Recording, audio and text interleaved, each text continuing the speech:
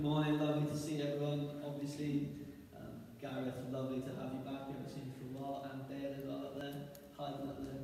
Um, it's great to see you. Um, so this morning, um, I'm not going to speak for too long. You might be celebrating inside. Um, but as, we, as we've explained, we don't want this just to be a, a monologue from the stage. We don't think that is what church is about. So I know that's what we've been used to. However long we've come to church, that is what we're used to. We'll be, we come in, we sing a few songs, you listen to what somebody else has to say, hopefully meet with, meet with Jesus, and we go home. But as a church, we really want to change that to sort of a dialogue between us consistently as a church, because we want to value what you bring to the church. So it's not that you come and that the we who are really clever just speak at you and you go home. What we'd like to start doing is coming in, having conversations, like we've tried to do in the first few weeks this week, the testimonies. What has God been saying to you? What is God doing in your life? And more like a, more community focused rather than me on this stage shouting it at you. So that is what we want really, is our hearts really for this church. But today I'm just going to touch a bit on how to hit the hearing the voice of God. And for some of us, that is different for all of us. We will hear God in different ways. Um, but what I, what I plan to do is just to do a short, you know, 10, 15 minute talk, and then we're actually going to try and do this practically. So I have sort of a application to do, a practical sort of uh, thing that we can do in small groups, hopefully, uh, if we have uh, time. But that is what my, our heart is today, is that we, we teach about it and then we do it. You know, our heart is what Sam's been saying on the stage for the last three weeks, equipping you for service, equipping the saints for service. So up on here, our job, really on mine, Sam's, Noreen's, whoever's up here's job is to equip you to live out there better or more like Jesus than you would before. That's our heart, is to look like disciples of Jesus, is to become like Jesus, be with Jesus. That's the heart. So for us, it's just to try and support you and go, this might help. Have you thought about this tip? And then we're going to try and do it together and we can chat about it or we can come back each week. And that's why we're encouraging, what's God saying to you? How is God be moving in your life? Not necessarily just me at the front, but what about you? What's God been saying to you today? So I just want to really touch on how I, how do I hear the voice of God? Um, for me, it's mostly journaling. So I seem to get, a, I hear something, or I read a book, or I read the Bible, or I listen to a preach, and I'll just write something in my journal. And then it's sort of like I hear God speak to me back. As I'm writing, I sort of hear a voice. Normally something that's way too clever, sounding way too nice to be from me. I don't know if you've had that experience, where God says something to you, and you can like, oh wow, that's good. And you think, that's definitely not my. My mind couldn't have come up with that. Um, in exactly what you need in exactly the right moment. But then, so I just hear God, as I hear those, that sense, or if you're reading the Bible, if you read the Bible and you hear a word just hang, or a sentence sometimes hangs and sits in your spirit, sometimes that can just be God speaking to you about that passage. Um, I think when we speak about hearing God's voice, we sometimes imagine, you know, a big billboard saying, Hi Simon, do this, or getting knocked over in some lightning, or some fire in heaven, like we read in the Bible. I think it's way sim- more simple than that. It's way more day to day, daily. Um, I was going to say mundane, but the, the things that he says aren't mundane, but it's not the normal day to day that God wants to speak to us in. And I think that's the, the encouragement we want this morning is that we can find God in those different places. Um, I just felt challenged this week that we shouldn't put God in a box of how to hear from Him as well.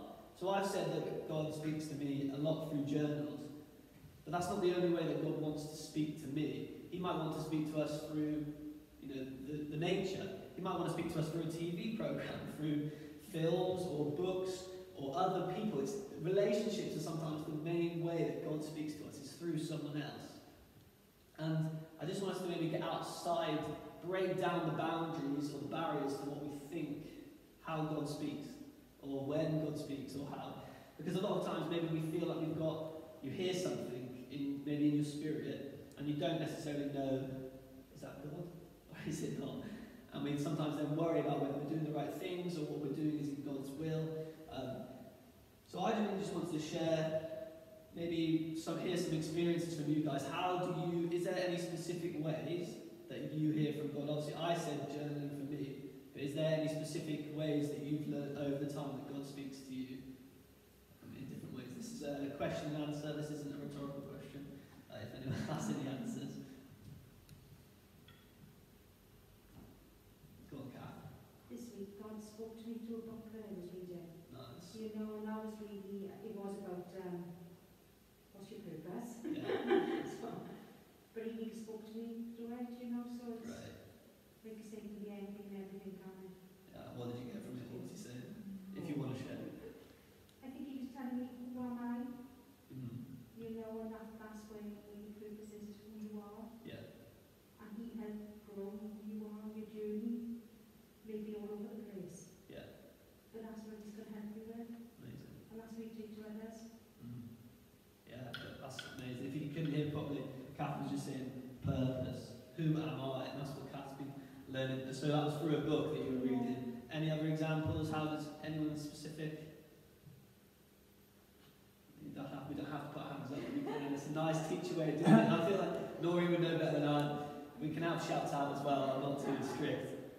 Um, well, you already mentioned nature, but that's one way that I find God really speaks to me is that if I'm out for a walk. I remember once I walked, I was walking through a valley that's near our house, and there were two, like, obviously really steep hills either side. And I just remember God really clearly, like, saying in my spirit, so it wasn't an audible voice, but I just felt that I was looking around at the plants, and he was like, the plants that grow down here in the valley aren't the same that will grow on the mountain. And it was sort of saying to me that going through the hard times will develop in me different things than I could possibly be doing when everything's going right, if that makes sense. Mm-hmm. So it's through those times when I'm just outside and just being open to sort of letting God speak to me. So I wasn't thinking about that. Yeah, it's cool. Anyone else? Any other ways? Liz?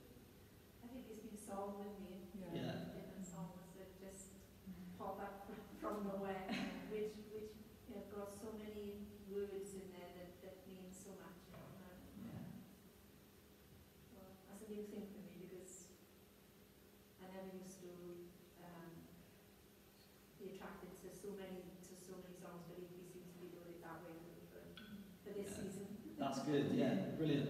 Yeah, so that's song. Worship is obviously a key way that God speaks to us because actually we're availing our heart when we're listening to the worship. We're hearing truth as well. So it's, e- it's sometimes it's easier in that moment for God to speak to us because we're availing ourselves.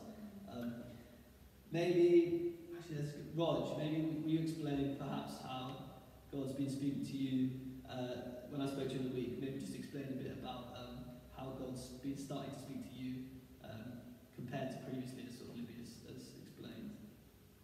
Yeah. well, God speaks to me, right? Times He's got to put me low. Sometimes I'm ill. Mm. And when I'm ill, that's when God speaks to me, Well, right? Um, he, he shows me that, right? You're not going to be like this. You're going to be, you're going to be uh, healed, mm. right? And many times in my life, God has met me at my point of need. Um, you know, but uh, that's the time when, when he speaks to me. There's different ways God can speak to us. Mm. Right? Through the Bible, when we, when we read the Bible, God imprints his, his words on my heart. Um, uh, and I think that's most important. And How about the, um, maybe just explain to people about what we were talking about in terms of spirit movement here in, in those pictures and things. Maybe just explain maybe how God's been speaking to you in that recently, if that's, if that's possible. Yeah, well, I was, uh, in July, it just came in July, I walked with God 57 years. Right? Well, And uh, right from there, the thing is, right, I- don't know whether you know my testimony or not, right, but I won't go through that again. But what I'm going to say is this, those of you that knew my testimony, a woman came to my house by mistake, and uh, she came to my house, right, and that's when I first heard the gospel. What a lot of people don't realize was two, two weeks before that, I buried my father. mm. Right? So when I say God meets us at our point of need, Yeah. that's exactly what happened then. Wow. Right? This woman came with words of hope. Something I'd never heard before. I've been, I've been to church, I've been to, uh, I've been in a choir, but nothing ever happened. Right? That was only, that was only uh, a learning journey, if you like. I never knew God. But from that moment on, I think God touched my heart. And I began to know Him, right? And then it's prayer and reading the Word that kept. Uh, and, and I would say to anyone, um, you know, read the Word. And many, many Christians have given up Yeah. in this pandemic because they've stopped reading the Word. They stopped believing in God. And, uh, you know, it's something we, we must do. We must read the Word. We must feed our souls. Mm. No, that's good. And that's, I guess that's the primary way that he does speak to us, isn't it? Is through the word. Because that's it's his word. It's God breathed. So if you want sometimes to hear the voice of God, we can read it in here. Is the primary the primary way that he speaks to us. Um, but thank you, Rog. Yeah. So Rog was sharing with me as well uh, recently that in, in the 57 years that Roger's been a Christian, he hasn't had pictures or visions. But what Roger was saying is that in the last year, since we've sort of been praying and connecting and maybe on spirit move and growing in those gifts, that actually now Roger said he does get pictures all the time and visions. And Roger was telling me in the week a picture that he had and a vision. And that, for me, that's amazing. That is showing that God can speak to us in different ways. And I know Gareth is one of the most prophetic men I know. He gives us visions, and actually, a lot of the visions that Gareth has given us has been so influential. Um, Gareth gave us a vision years ago about throwing boxes out to people. Me and Sam didn't have a clue what that meant. We thought it was something different. We thought it might have been spiritual gifts to the people outside. And now we're starting a, a, a ministry where we give out boxes to people in the community. And that was something that we didn't even know two years. Two years ago, probably wasn't Gareth, maybe a long time ago. And that's hearing God's voice, and sometimes God's voice comes to us in a moment when we need it, as Rod said, when we need Him most. I know there's people in this room here today that need Jesus to speak to them today. And it is when we get to that thing where we can't do it on our own. I think that's, I think we need to get our posture day by day, going, God, I need you today. I need you to speak to me today. I need to hear your voice today. That's a posture that we'll get. God wants to speak to us. God's not hiding behind. As Steven Furtick says, God is always moving but never hiding. When we're speaking to God, He's not running away from us. It's not a game to God that He goes, pray some more to me. Or pray in a different way, pray in the right way, and I might answer. God has always wants to speak to us. God is always available. And it's sometimes just about us getting out of the, um, in the position to hear God's voice. So that's the first really important I just want to touch on is Jesus tells us to go to the quiet place to hear from God. Uh, in Matthew 6, uh, verse 5 to 6, before Jesus lays out the Lord's Prayer. So when his disciples say to us, How, how do we pray? Lord, how can you show us? Can you tell us? Because we don't know how. And I think that's quite a real question for a lot of us sometimes because we don't know how to pray. But Jesus says, And when you pray, you must not be like the hypocrites, for they love to stand and pray in the synagogues and at the street corners, that they may be seen by others. Truly I say to you, they have received their reward. But when you pray, go into your room and shut the door and pray to your Father who is in secret. And your Father who sees in secret will reward you. So what Jesus is saying is don't be like the hypocrites in those days going into the temples, shouting their prayers, trying to sound all amazing to everyone else. Jesus actually go into the private place. And as you see throughout the Bible, throughout Jesus' life, that's what he did. He went off to pray. It's the solitary place. places to make time to meet with God. I think sometimes when sometimes we don't, if we don't hear from God, if we can't, if we feel miles away from God, it's probably just us that's gone somewhere, not Jesus.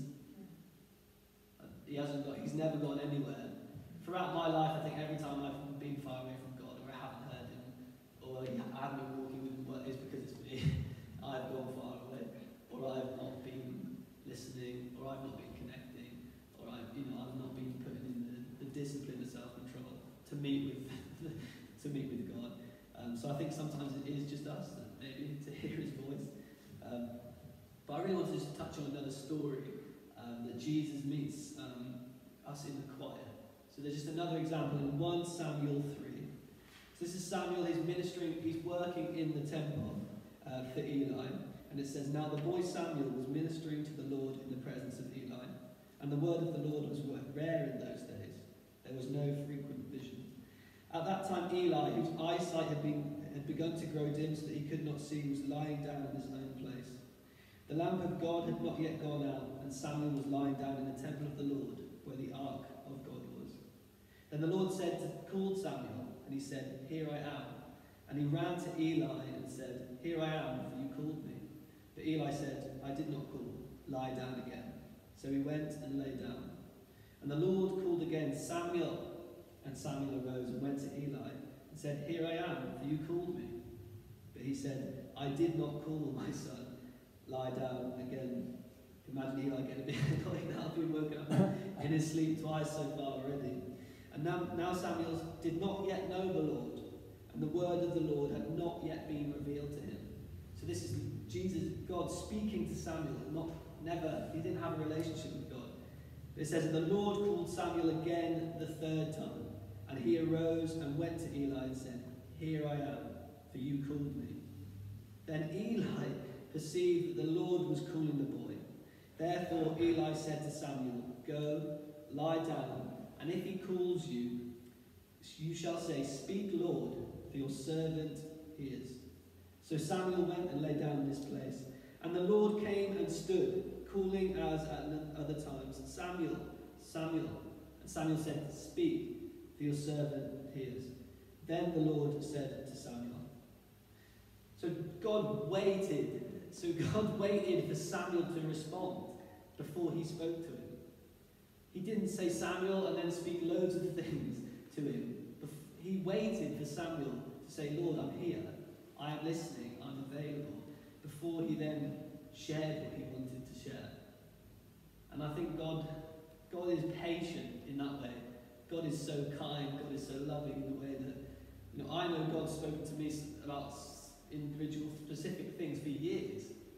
And he keeps going and he keeps bringing it up. And every couple of months, he might say the same thing. But God is patient. If you see that, that's three times God said the same thing, calling out to Samuel. Um, so I think God is, is always speaking. It is sometimes just whether we are we're listening or we're saying, Speak, Lord, your servant is listening. Um, and it had to be go lie down and stay in the quiet. Um, but Sa- Samuel is positioning himself to hear. I think that's basically the main thing that I want to share with you guys is positioning yourself to hear. Um, and you know, we, we hear the story in one King, one Kings, where you know Elijah, Elijah is waiting to hear from God, and he's he's escaped, and God speaks to him, and Elijah says, you know, God wasn't. He looked at the lightning, but God wasn't in the lightning. He looked at the fire, and God wasn't in the fire. He looked at the wind, and God wasn't in the wind. But then came a gentle whisper, and that is when God spoke to Elijah in the gentle whisper.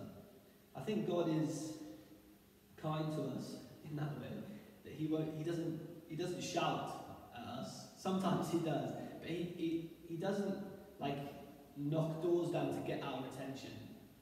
Sometimes in, in ways individual ways I have but often it is like Roger said when you get to a point where you need God or you hear of people who've never even met God just cry out maybe in a prison cell and say God I need you and he needs them then he meets them because it's about the open um, heart to hearing from God.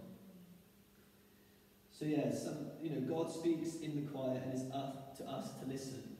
But what, but based, all I want to sort of explain is what is this listening for? Why do we want to hear from God? And that's why, as a church, for us, it's the practical element to go out there and bring the kingdom of God outside of these four walls. You know, that's why we want to equip you. How do you hear? Oh, here's some better ways, maybe. Uh, here's how I've learned to do it. Find out more about you, your specific way that you hear from God. To go out there and bring Jesus to other people. So when you're in your job in a difficult situation, you say, Holy Spirit, help me. You can hear him better to help you. When someone asks you about Jesus, Holy Spirit, give me a great words. And then you hear what he says and you speak it out. It's not about doing it really for our benefit always. It's actually to help us go out and change the, the valleys, change, bring Jesus to this kingdom, you know, to bring kingdom on, you know, from heaven to earth. And that we need to listen to God for that. We need to be hearing what God's saying in our specific areas. You know, it's, it's about hearing God in the day to day. There's an amazing quote. Um, I was really moved by this quote. It really challenged me. Um, it's by a Franciscan priest called Brennan Manning. And he's talking about, um, so when Jesus goes off to pray, and he's talking about that time that we spend daily with Jesus. And it's not about ticking off that day. It's not going, God, I've given you an hour. But what he says is, what if the hour that you spend in the prayer room is when you refocus on Jesus so that you can carry his presence with you in the other 23 hours of the day with a heightened awareness that he is with you, he is for you, that he likes you, and that he hears your thoughts. Maybe that's something for somebody today that he likes you. I feel like that was something that, you know, he, God likes you, God loves you, God likes spending time with you, not because he has to. It says you start to pray in real time. You instinctively lift situations to the Lord in the actual moment that you experience them while you are watching that distressing news report or hearing about your friend's latest crisis. You're no longer deferring all your prayers to some later, holier moment because your whole life is becoming that holier moment. So, what he's saying is the prayer that we spend in that hour, say 10 minutes, 5 minutes, whatever it is that you give God in that morning slot that we like to do, is actually to help us for the rest of the time to live with a, an awareness of the Holy Spirit, to hear God. So, we don't just hear God in that five minutes, that we learn to hear his voice and identify the way that he moves in our lives specifically, because the way that Rog will hear from God will be completely different to the way that I hear from God, and the way that Dave does, and the way that Martin does. It'll be completely different. So the, when we spend time with Jesus, we understand how he speaks to us. Oh yeah, actually God does speak to me. God speaks to me in sunsets. I look at a sunset and I'm like, every time I just want to. And that sets me back and go, wow, Jesus, you created that. You know, the Bible says he created it for our enjoyment, he created the world as well. I mean, that just, yeah. It's just not about spending an hour with God and spending time with God. Yes, that's great. It's actually to spend the rest of the time and to be aware of Jesus. Because life isn't easy. Hearing from God isn't always easy. God, where are you in this crisis? Where are you look after my kids? Where in my job, that is the biggest sphere of influence that any of us have. You know, my job is here with you guys to help you go out and influence and change the world culture in your jobs. That's what we want church to be. As Sam said last week, a springboard. Learning here, getting out there, change the world. It's not about coming to our services. It's not about being holy because we go to loads of meetings. I would rather us hearing God, being in the pub, changing one of our friends' lives, bringing the gospel to them, rather than being here. That's what we want it to be a training ground for us to go, actually, I struggle to hear God's voice. Actually, I don't know how. Actually, I've, I've never really heard God speak. Honest conversations that we can have as a group, just to finish. Um, so just to really a point quickly, I've probably gone way too far over than I wanted to. Um, know, someone's going to have to stop me. I put that hand up. Like school, there's no school bell noise to save me. Um, so speaking, so hearing God's voice and speaking it for others is prophecy. So when we're saying what is a prophetic word, it is I've heard what God has said, and I've said it, and I've spoken it out. So that is in its simplest terms. So a gift of prophecy. So a lot of some you might hear people say, "I'm a prophet. I hear from God," but actually prophecy is more just a word in the moment. So uh, we, I, I wouldn't necessarily, I wouldn't necessarily say, "Oh, I'm a prophet," but God gives me that, graces me in those moments, in that instant. He speaks to me on behalf of someone because that's because he wants to share with that person. So in that moment, he gives Gareth the gift of prophecy to see that vision. You know, in that moment, he gives us the gift of encouragement, the gift of wisdom. All those, all those different things, they get their gifts. As John Wimber calls them, he calls them gracelets because they're gi- spiritual graces, because they're given to us by God in the moment. Because once we think it's about us, once we think I've got a gift, we were, we're in trouble. Oh, once I'm a prophet, you know, not that God gives me the gift of prophecy whenever He wants to speak. It's being that open. You know, the truth of what God says is effectively prophecy. So when you read something in the Bible that speaks truth, that is prophetic word because you're hearing God because the Bible is truth. That's the simple way. That's why God says, listen to your Bible, read your Bibles because it's God's truth in however many pages. But just a point, really, just on before we go into some maybe some practical, or Millie comes up um, and plays again for us. But the words of God, so prophetic words, build up, encourage, and strengthen. 1 Corinthians 14:3 says, "The one who prophesies speaks to people for the upbuilding and encouragement and consolation." And 1 Corinthians 12:7 says, "The gifts of the Spirit are given for the common good."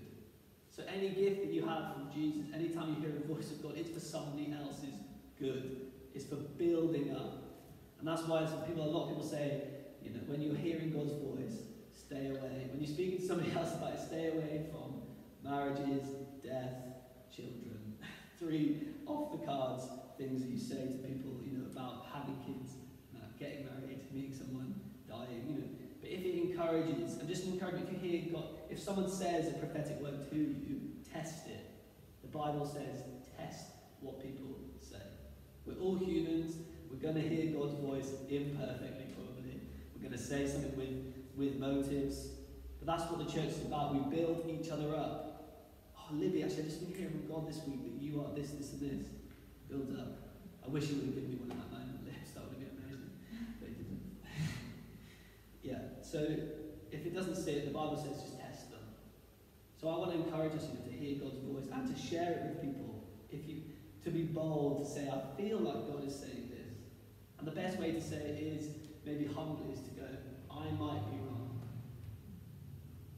I might be wrong, Lord, but God, God really wants to strengthen you today to help you get through. The strength, and that's what I heard that strengthen. I may be wrong. God might not have said this, but try it. I, don't know if this is wrong, but I think that's just what the encouragement is today. You can test them with God and go, God, was that right what they said? Because sometimes, I don't know about you, but being in the church we have broken people who sometimes give broken prophecies. Oh, that didn't sit very well with me, that person said. Find a trusted person. Do you think that's right, really what, right what they said to me? Does that sound good to you? Test that with someone, test it with God. God, does that can I throw that away? Don't allow things. You know, it's supposed to be encouragement and built up. So if it makes you feel um, a bit uncomfortable or in the spirit, I've just testing. Not saying you're not going to be out of your comfort zone when someone gives you maybe a, could be a, I don't know, encouragement, could be a challenge, it could be a bit, yeah. mm. it's not about not being challenged and feeling uncomfortable, but it's just testing those words.